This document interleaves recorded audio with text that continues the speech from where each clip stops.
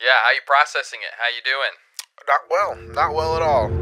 What do you do for somebody who believed in you when it literally seemed like nobody else did? Do you remember this? I called you and Galippo. Yeah. I was like, hey, what do you think about me doing this? You're super insecure. Super don't, insecure. Don't make fun of me.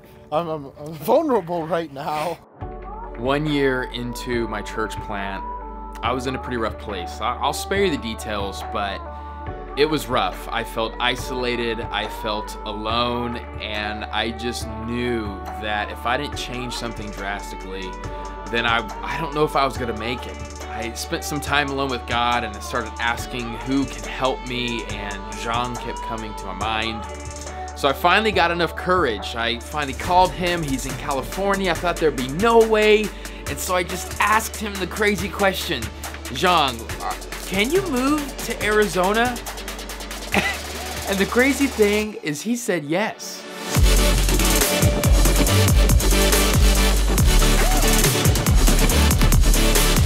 I wish that was the end of the video and we're just celebrating all of this, but the reality is Xiong is moving. He's going back to California. I'll link the podcast below, the reasons why he's leaving. It's no ill intent at all. It's just kind of life. We only have a few days left with him and I really want to make it special. And honestly, part of me podcasting with him is for me to figure out what are like the few things he wants before he leaves. I want to honor him. I want to thank him. I want to make these last few days special. And so I had this terrible slash amazing slash terrible idea that I would think of the five love languages and then make it particular for him and do each of those five and bring you along. And I kind of, in a nonchalant way, brought up the five love languages to kind of get his vibe. And he said this. Words of Um, affirmation? No, no, I really don't care about that, which is horrible. Gifts? But no, I also don't. Service? So now I'm back to the drawing board. Okay, I think I got an idea. In the podcast though, Xiong did say he had this moment where he said what he truly loved and truly wanted. What and I think I've said this to a couple of people. I've never probably said this out loud, but I think something that I I struggle with and I suffer from the most is I feel like this deep loneliness all the time. Mm. I just always wanted to build people like a build a community mm. that like you see in like movies or TV shows and you know like bring them together and do all these things and I have this like romanticized view of it all. So why not recreate a TV show? What was my idea at first? It was a roast. It was your roast. Oh, I thought like let's do a roast and just roast Xiong. Boom.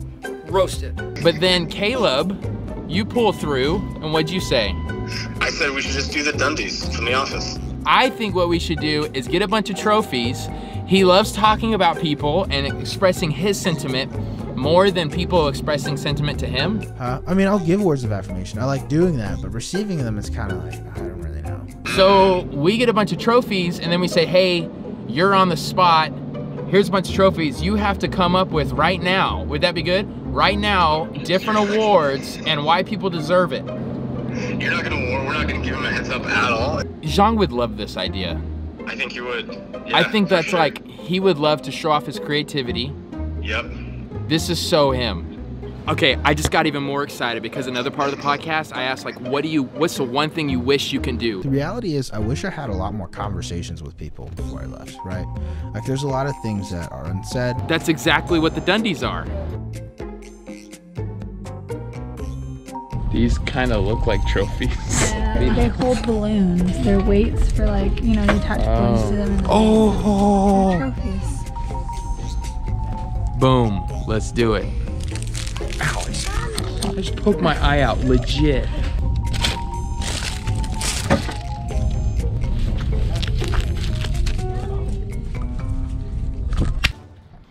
Okay, Xiong.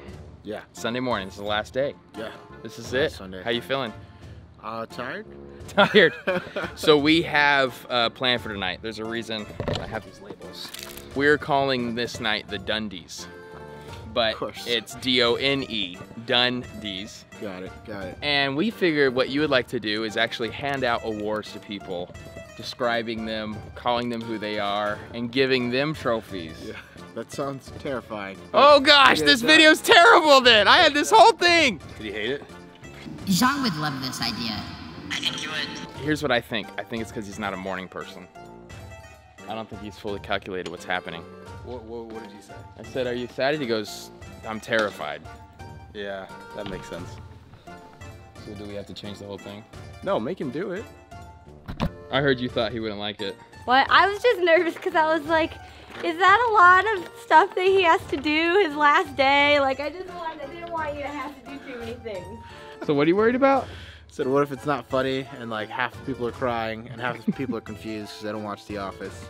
And they're like, oh, this is like a, a really rude name for a party. Like, I don't know. It's not funny, dude.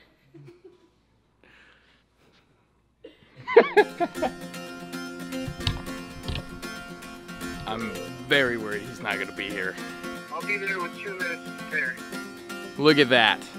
I'm good. Hey, man, I came up with some nutties, but some of them are really mean. So the closer we get to this, the more awkward this feels. It's happening in like five minutes. Feeling a lot of pressure now. I expected a lot less people to be here. Now it's gonna be on the internet. It's gonna be a rough one. I guess so. I get, if I get fired, I'll be back in a couple of weeks. And Just keep it going. Just keep it going, man. Is he nervous? He says he is. Are you nervous? Yeah. This is gonna be the worst thing ever. You're all gonna hate me after this. I told him this morning and he's like, oh.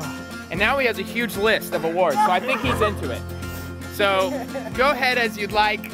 Hopefully this is a loving, I'm, I'm gonna stop prefacing this, okay? We love you, Xiong. I'm terrified what you're gonna say about us and excited. Okay, got it. First and foremost, this is an ALA, so not everybody wins an award. Sorry to the private Christian schools. To the worst and the best human beings I know, uh, Caleb and Shelby, come up here. Justin's always on my side for some crazy reason, and he's like just like the nicest person. Too much, too much sometimes. Thank you so much. Most likely to be pregnant next year, Jordan Van Camp. uh, most likely to get famous from having a mental breakdown, Lauren McCullough. The desire for every single one of my viewers is that you too would have people in your life that would believe in you when it seems like nobody else would. That would be willing to sacrifice so much because they believe the vision that God has given you. Xiong, I'll forever be grateful for you.